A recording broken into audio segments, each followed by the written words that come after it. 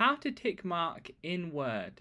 So first of all, when you're on Microsoft Word, the first step is to go to the top left hand corner where you see insert, click on there, then once you're in the insert menu, click the top right hand corner where you either see advanced symbol or symbol, click on that section and then it should bring up a place here where it says font, and then you're going to want to go ahead and type in this. So it's Wingdings, so spelt like that. Go ahead and uh, search up that font, and then it should bring you to uh, this part here where you see different types of characters.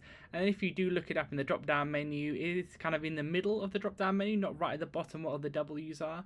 So that might be a little confusing. But once you're there, click on the tick as you see, it should be somewhere in the middle. Then you can click insert on it, then it will appear in your Microsoft Word document. And do be aware that if you change the font, it will go away to something that looks a bit like this. So make sure you keep the font Wingdings when you do that. Then you can go back to your original font afterwards.